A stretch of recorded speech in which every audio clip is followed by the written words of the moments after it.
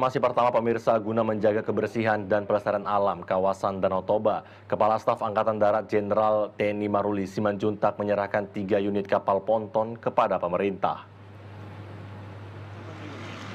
Penyerahan kapal ponton diharapkan dapat mengatasi masalah sampah dan eceng gondok di Danau Toba, sehingga Jenderal TNI Maruli menggagas bermula dari permintaan bantuan pembersihan alat berat untuk digunakan di kawasan Danau Toba termasuk sungai. Dalam kesempatan itu, Kasat juga meninjau operasional perahu ponton pengangkut sampah untuk, untuk membersihkan eceng gondok di Danau Toba sekaligus menyerahkan tiga unit perahu ponton kepada pemerintah Kabupaten Toba, Samosir, dan Simalungun. Inovasi ini diharapkan dapat membantu rehabilitasi lingkungan khususnya dalam menjaga kebersihan Danau Toba.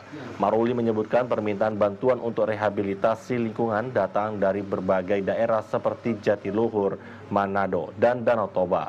Dengan adanya bantuan perahu ponton ini, TNI AD berharap dapat terus berperan aktif dalam mendukung pembangunan infrastruktur yang berdampak langsung pada kehidupan masyarakat, sekaligus membantu upaya pelestarian lingkungan.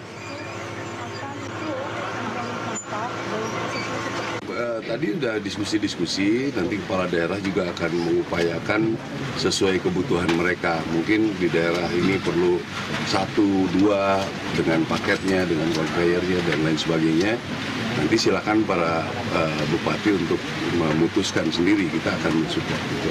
Caranya ya dari Pemda lah atau mungkin lingkungan hidup atau mungkin CSR ya kami ini aja kami kan sudah mengerjakan sendiri udah cukup berat lah buat kami ini mengerjakan.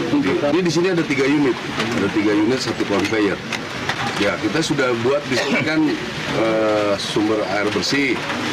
Kita hari ini juga meresmikan 50 titik sebetulnya ini tiga bulan terakhir saja 50 titik.